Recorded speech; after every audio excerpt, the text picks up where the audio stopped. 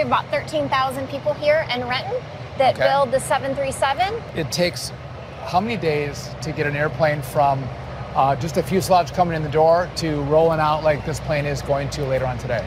Yeah, so right now in the final assembly, um, we're averaging about 17 days. They're putting that- is that insulation it? blankets in.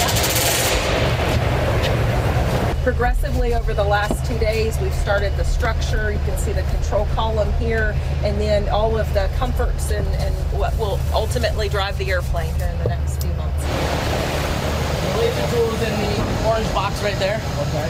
uh, and it shoots out the laser and hits multiple different locations hundreds of times. The stow bins, you can see the sidewalls are now installed inside the cabin, and the stow bins as well as the forward galley start coming in. We're also installing floorboards in preparation for seat install. The tails uh, actually have the the paint of the of the company that's buying the airplane. We paint it when it rolls out. You can see here there's tails of many of our U.S. customers as well as customers around the globe. This is impressive. How many people on